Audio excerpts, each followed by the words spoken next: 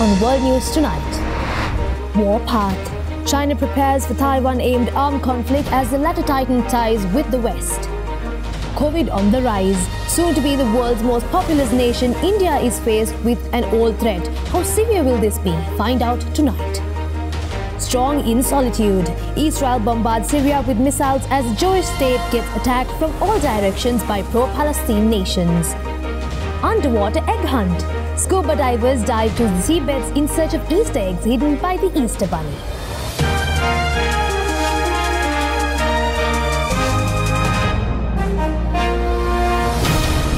This is Ada Derana World News Tonight. Reporting from Colombo, here is Sanuvi Mudanayaka. Good evening, and we wish you a very happy Easter from all of us here at World News Tonight. Millions of Christians around the world celebrated Easter Sunday, the most holy day on the Christian calendar, commemorating the passion, the death, and the resurrection of Jesus Christ, with Pope Francis himself calling for world peace and unity in preparation for the second coming of Christ.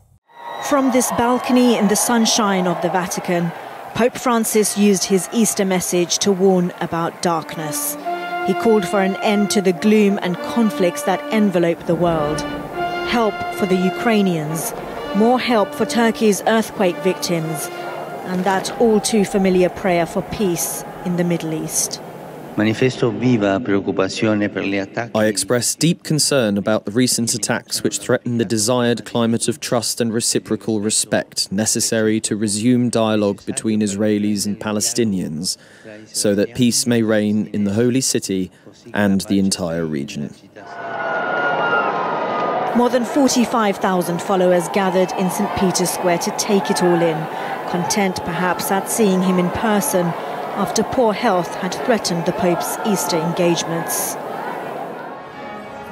A thousand miles away in Canterbury, the same message light over darkness, life over death, and a warning that there will be divine justice. We do not lose heart, but we pray and we work for Ukraine and Russia, for Israel and Palestine, with the recent tragedies especially, and for the other so often forgotten struggles of our world, as we are surrounded by fears, even by evil. We know that those who oppress and subjugate others will face divine justice. On a day that marks new beginnings, a new king led his family to Easter Mass, his first since his mother's death, and on the second anniversary of his father's. A once outspoken prince stuck to royal tradition for a quiet and private Easter on the Windsor estate. China ramps up its three-day military drills across the straits by simulating precision strikes on Taiwan. Taiwan states that dozens of military aircrafts and ships were spotted and were being closely observed. China's military simulated precision strikes against Taiwan on Sunday in a second day of drills around the island nation. That's according to its state broadcaster CCTV, which said the military was maintaining, quote, an offensive posture around the island. Taiwan's defense ministry said its military had spotted dozens of Chinese aircraft and several ships near its territory by midday and was especially monitoring the movement of Chinese missile forces. Tensions across the Taiwan Strait kicked up a notch on Saturday as China began three days of military exercises around the island. One fraught exchange appeared to be captured in a video released by Taiwan's Coast Guard late in the day, showing an officer warning a Chinese warship to leave or face eviction measures. Taiwan's defense forces also reported spotting dozens of Chinese aircraft crossing the sensitive median line of the Taiwan Strait. The drills started a day after Taiwan President Tsai Ing wen returned from a brief visit to the United States, where she met U.S. House Speaker Kevin McCarthy despite Beijing's warnings against it. China claims democratically governed Taiwan as its own territory and says it is the most important and sensitive issue in its relations with the U.S. It has also refused to renounce the use of force to bring the island under its control. Last August, after then U.S. House Speaker Nancy Pelosi visited Taipei, China staged war games around Taiwan, including firing missiles into waters close by, though it has not announced similar exercises this time. and life in Taiwan has continued as normal, with no sign of panic or disruption from the Chinese drills, which had been widely expected following Tsai's U.S. visit. The de facto U.S. Embassy in Taiwan said on Sunday Washington was monitoring China's moves around Taiwan closely and was, quote, comfortable and confident it has sufficient resources and capabilities regionally to ensure peace and stability. India's health ministry is conducting mock drills to check preparedness of hospitals to deal with the rising COVID 19 cases. The drills are being held on Monday and Tuesday across the country. India's active case count of COVID is relatively low, but experts are urging caution to stop further spread of the disease. The country saw a deadly second wave in 2021, and the government came up under criticism as many hospitals ran out of oxygen and critical care beds. India recorded close to 6,000 new cases on Sunday, government data showed, and the active case count was 35,000. The surge is largely driven by the XBB 1.16, which is an Omicron subvariant. The WHO has said it was watching the subvariant and the spread in India. This comes as India is projected to become the world's most populous country with over 1.4 billion people sometime in the second half of April, according to the United Nations projections, overtaking China in the process. India's 2011 census had put the country's population at 1.21 billion, meaning the country has added 210 million million, or almost the number of people in Brazil, to its population in 12 years. The population explosion is exposing to its own challenges with a massive and young workforce in the years to come expected to migrate to urban areas within their own and other states, leading to rapid and large-scale increases in urban population. Providing these migrants access to basic amenities, health and social services in urban areas could also prove to be a challenge for policy planners. Israel struck Syria in a retaliatory move after many attacks came from both Lebanon and Syria over the Easter weekend that threatened the livelihood of Israelis living in the region. Israeli jets hit Syrian military targets on Sunday in response to rockets launched towards Israeli controlled territory overnight. That's according to Israel's military, as violence flared again following cross border exchanges of fire during the week. State media in Syria reported explosions in the vicinity of the capital Damascus. Israel said its forces had continued to hit Syrian territory after six rockets were fired overnight towards the Golan Heights. Israel said artillery and drone strikes hit the rocket launchers and were followed by airstrikes against a Syrian army compound, military radar systems, and artillery posts. The Syrian Defense Ministry said its air defences had responded to the Israeli attacks and intercepted some Israeli missiles. It said no casualties had been reported, with only material damage caused by the strikes. Lebanon based Al Mayadeen TV said the rocket salvos that entered Israeli controlled territory were claimed by Al Quds Brigades, the armed wing of the Iranian backed Palestinian Islamic Jihad movement. Israel seized the Golan Heights in the 1967 Middle East War and annexed the 460 square mile territory in 1981, a move not recognised by most of the international community. Earlier this week, over 30 rockets were fired towards Israel from southern Lebanon, drawing cross border counterstrikes from Israel on sites linked to the Islamist movement Hamas in Lebanon and Gaza. The cross border exchanges came amid sharply increased tensions between Israel and Palestinian groups following Israeli police raids in recent days on Al Aqsa Mosque in Jerusalem. Despite fears of further violence around the mosque on Saturday, there were no reports of serious disturbances overnight. A four story building in the French city of Marseille collapsed overnight. While the cause of the explosion is yet unclear, authorities state eight individuals are still to be accounted for. This pile of rubble is what remains of a four story building. It collapsed just after midnight on Saturday in Marseille, leaving residents shaken. My bedroom is in the middle of my apartment, and when the explosion went off, I really felt it. The mayor of Marseille stated that the exact cause of the collapse, which also partially destroyed two neighbouring buildings, hasn't yet been confirmed. Gas has been highlighted as a possible reason. He did, however, confirm that several people have been injured. At the moment, there are 33 people who have been affected. Six who have been transported to hospital, five as a matter of urgency, and one person in a state of extreme shock. Dozens of firefighters arrived at the scene, but the rubble made their work difficult, and a fire which broke out among the debris prevented rescue operations from being carried out. We're trying to put out the fire while saving the lives of victims who may be trapped in the rubble. So it's an extremely delicate operation trying to evacuate people and fighting the fire. We're trying to pick up the pace because time counts in this operation. Several other buildings on the street were evacuated to a local school as a matter of precaution. We'll be back with more world news after a short commercial break.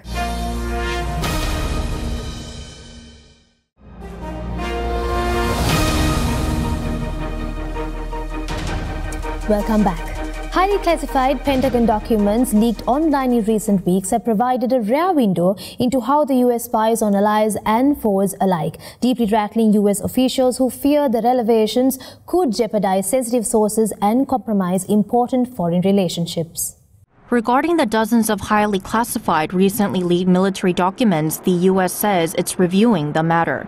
That's according to the Pentagon on Sunday in a written interview with South Korea's Yonhap news agency. The department said it was looking into the leak and that it has asked the Justice Department to launch an investigation. Last Friday, a new batch of photos of wrinkled documents apparently originating from the Pentagon was shared online. They revealed information seemingly obtained by U.S. spy agencies on a wide range of matters, including Russia's invasion of Ukraine and also info on key allies like South Korea and Israel, which could hurt diplomatic ties. Citing the leaked documents, the New York Times detailed a conversation between then President Yoon Suk-yeol's Secretary for Foreign Affairs and his national security advisor that the government was, quote, in concerns that the U.S. would not be the end user if South Korea were to comply with a U.S. request for ammunition. In February, the U.S. had reportedly inquired about purchasing ammunition from South Korea, but the administration was worried about supplies reaching Ukraine and going against its long-standing policy of not supplying weapons to countries at war. The Times noted that details of the discussion between top advisors of South Korea's president were based on signals intelligence, a term used by spy agencies to describe intercepted communications from phone calls to electronic messages. The papers also contain plans by Russian mercenaries, the Wagner Group, to operate in Africa and how the Israeli Foreign Intelligence Agency Mossad had encouraged its staff and members of the public to participate in the anti government protests that took place across the country in March. According to CNN, U.S. officials say the documents are real. As Russia ramps up attacks on Bakhmut, the Ukrainian President Volodymyr Zelensky slammed Russia over concentrated attacks during Palm Sunday that killed multiple civilians in the Donetsk region, despite Bakhmut already being in Russian hands. Russian forces are focusing a barrage of attacks along the front in two Ukrainian cities in the eastern Donetsk region. That's according to Ukraine's military, as Kiev said on Sunday it repelled more than 40 enemy strikes over 24 hours. According to the General Staff of Ukrainian Armed Forces, fighting has been heaviest along the western approaches to Bakhmut, which, along with Avdiivka, have been targeted by Russia's military. Russian forces have been besieging Bakhmut for months in the longest battle in more than a year of war. In his nightly video address, Ukraine President Volodymyr Zelensky denounced Russian airstrikes coinciding with the observance of Orthodox Palm Sunday. Every bright Christian holiday teaches us that we may not know how, but we must be sure that evil will lose. We have to bring the defeat of evil closer, and we are bringing it closer. Zelensky also lashed out at Moscow over the deaths of a 50 year old man and his 11 year old daughter, who were killed as Russian forces struck their home in the southeastern city of Zaporizhia. Ukraine's State Emergency Service said a woman identified as the wife and mother of the victims was pulled alive from under the rubble. This is how the terrorist state spends Palm Sunday. This is how Russia puts itself in even greater isolation from the world and from humanity. The majority of Ukraine's 41 million people are Orthodox Christians who celebrate Easter a week from now. Russia's defense ministry said on Sunday its forces had destroyed a depot with 70,000 tons of fuel near Zaporizhia. It added that Russian troops had destroyed Ukrainian army warehouses storing missiles, ammunition, and artillery in the regions of Zaporizhia and Donetsk. Could not verify the battlefield reports. As Texas doubles down on its anti abortion stance, the Biden administration plans to appeal a ruling by a Texas federal judge that restricts local access to the abortion pill known as mifepristone. The Biden administration says it will appeal a Texas based federal judge's ruling, halting access to an abortion pill while legal challenges proceed, and will press for continued access to the drug. It's called mifepristone, and it had been given the green light for more than two decades. But Judge Matthew Kacsmaryk's Friday ruling would make sales of it illegal, while a challenge against it plays out in the courts. The judge left a week long window for his ruling to take effect. Vice President Kamala Harris said the pill suspension goes against women's rights. There is no question that the President and I are going to stand with the women of America and do everything we can to ensure that women have the ability to make decisions about their health care, their reproductive health care. Mifepristone is part of a two drug regimen used for medication abortions in the first 10 weeks of pregnancy. The drugs account for more than half of all abortions in the country. Anti abortion groups sued the FDA last year, arguing the agency used an improper process two decades ago to approve the drug. I would like to thank the people who got me to this point. First and foremost, President Trump. Kacsmaryk, a conservative former Christian activist, hasn't ruled on the challenge itself, but has already found the lawsuit is likely to succeed. Adding to the volatile legal landscape around abortion, a federal judge in Washington state on Friday issued a seemingly conflicting injunction that prevented federal regulators from altering access to the same abortion drug. Legal experts say a conflict between the two rulings will have to be hashed out by higher courts. As artificial intelligence develops and robots become smarter, South Korea is looking to create smart buildings where robots perform tasks like delivering packages and supporting the elderly. While robots are already being used in many parts of the country to make life easier, many limitations still restrict their use.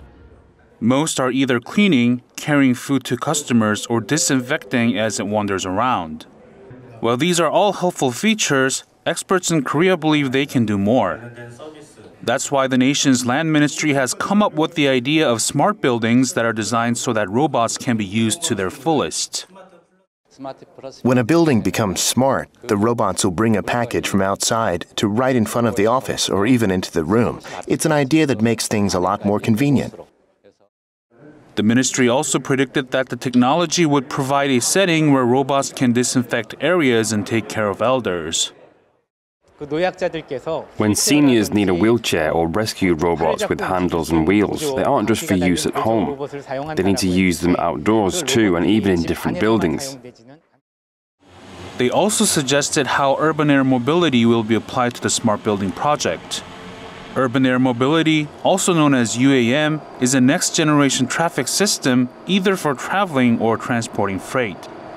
The ministry said once the smart buildings are complete, they will set up UAM stations for easier transfers and a faster response system against any potential accidents. Experts from some 50 public and private organizations have taken part in launching the committee and said they are still working on the exact outline to put the project in place, as autonomous driving and UAM are some of the technologies that still require time to be fully commercialized.